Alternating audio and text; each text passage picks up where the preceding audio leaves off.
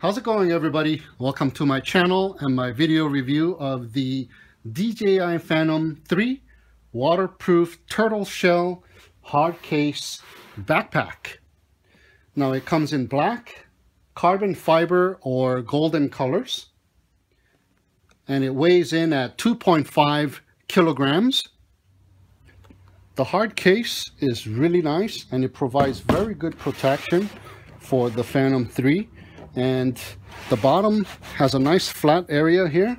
And there's a nice handle on the top just like a regular backpack. So you can lift it up and put it down flat on any flat surface. But as you can see it is just a flat surface and there's no footing. The footing however is on the cover of the backpack. And the backpack is actually made to be sitting upside down like so because the Phantom 3 is inside right side up at this moment. Taking a look at the hard case, the bottom of course is the the black that I ordered. Uh, it comes in carbon fiber and um, the golden color as well. Um, it doesn't have any protection on the outside as you can see. It's just a plastic shell. But on the opposite side of the lid, um, it has the plastic on the inside, but it's coated with uh, a cloth and it is really nice. Um, the straps itself are nicely padded and ventilated. Uh, it's not the heaviest duty um, straps, but it's mid duty, I, I, I, guess you can call it. And it has nice pull uh, straps as well, and it works really well. And there's a belt uh, buckle you can wrap it around your waist and it comes undone and it is circular type so it moves with you. So it's really nice. And the padded uh, backrest is ventilated and it has nice foam inserts as well. Um, all in all it's a really solid backpack nice zippers and being waterproof I'm not sure that it will be waterproof. Um, maybe um, this area right here uh, if you dip it in water and the water goes up to around here level, uh, it is waterproof. But as you can see, um, the water will seep in through the zipper area and the the whole entire sewing of the zipper area if it was it, was to be completely submerged in water. So I wouldn't do that.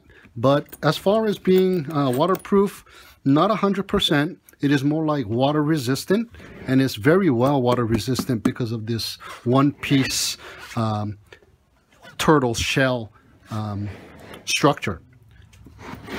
Okay, so let's take a look at the inside. Let me do undo the zippers here and open the baby up. I already have the uh, the Phantom 3 already inserted in there and I must say it's a perfect fit uh, everything fits in here that I need, uh, that I gotten from the uh, original Phantom. Uh, the quadcopter goes in here really nicely. Perfect fit, as you can see. Uh, you need to remove the props, of course. Um, let me take that out. And in this pocket here, I have the charge cord and the charge assembly. And I have the transmitter fits in here perfectly. It does not move and it goes in there perfectly. Uh, but one thing that I want to mention is that these antennas, as you can see, when I close the uh, lid, uh, the shape of the top is a rectangle and you will need to make sure that you are not squeezing down the antenna so you need to move the lid back and forth a little bit to get the antennas perfectly inside of that rectangular shaped uh, uh, cutout. So you're not squeezing down on the, um, the antennas. Now, I have my props here that I use. And I also have a set of extra props inside here. And in this pocket, um, I have the the neck cord that holds the uh, the transmitter to my neck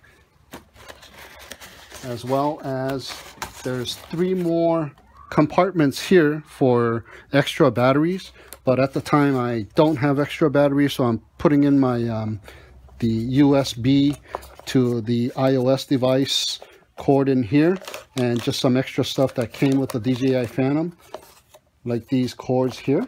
So all in all everything fits in here perfectly and let me show you something too let me show you how the inside of the lid looks like. I can pop this out from the lid and it's a nice uh, pre-molded uh, um, foam that has all all the correct um, uh, perfectly made uh, cutouts and inserts for the DJI Phantom. And as you can see here this is the, uh, the plastic. Uh, it's not as strong by itself but once you put this foam insert in here which fits perfectly it becomes a pretty strong case from the outside. Let me go ahead and put everything back in its spot. Cord goes in in a specific way. And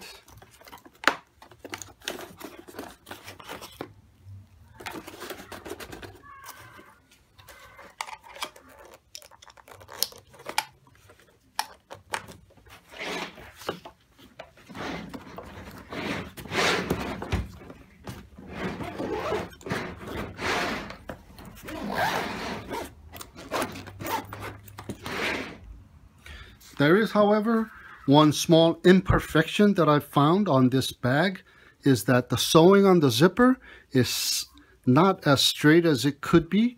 And as you can see, this side is a little narrower than this side. So that is just quality control there on the sewing people's job. But on the side is pretty good. And on the other side is good as well. So I'm happy with it and I'm really impressed by the design and the quality of this backpack and the fact that everything fits in there perfectly. And most of all it's it's the price. It is uh, on sale for $38.99 and it beats the heck out of the original DJI Phantom backpack which sells for I believe $149 so and the quality as far as I can see from the photos almost identical. So you get a really good buy at banggood.com. Uh, $38.99 shipped to your house from the U.S. factory uh, or the U.S. warehouse. And all I can say is I'm really happy with it, you know.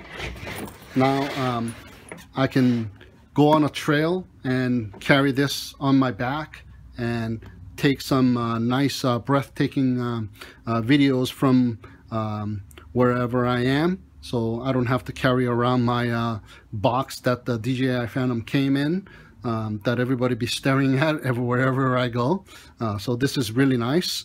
Uh, maybe I'll get rid of this and put something else so nobody knows that this is a, um, a quadcopter backpack and you know they'll think that this is just some uh, motorcycle hard case uh, backpack. All in all, like I said, I'm really happy and I'm really satisfied with this backpack and I give it a, a thumbs up. Well, well, two thumbs up.